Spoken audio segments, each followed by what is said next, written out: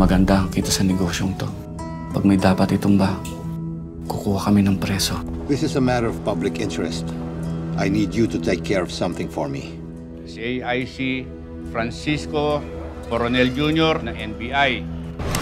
Kaya mo ba ginagawa ko? Siyempre natuto ako sa'yo.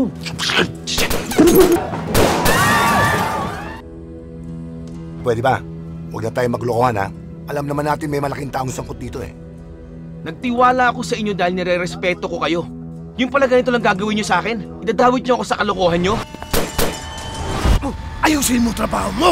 Sa ngalan ng pamilya, ibibigay ang lahat. Kaya kasi Mario, malis ka na nga eh! Isa ka na nga lang umuwi, hiyain mo pa yung anak mo! Sa ngalan ng batas, iaalay ang sarili. Sorry pero kailangan ko gawin trabaho ko ni madamay na lahat na madamay.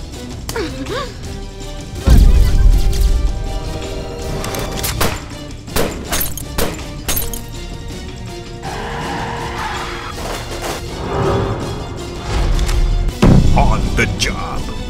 August 28 in cinemas.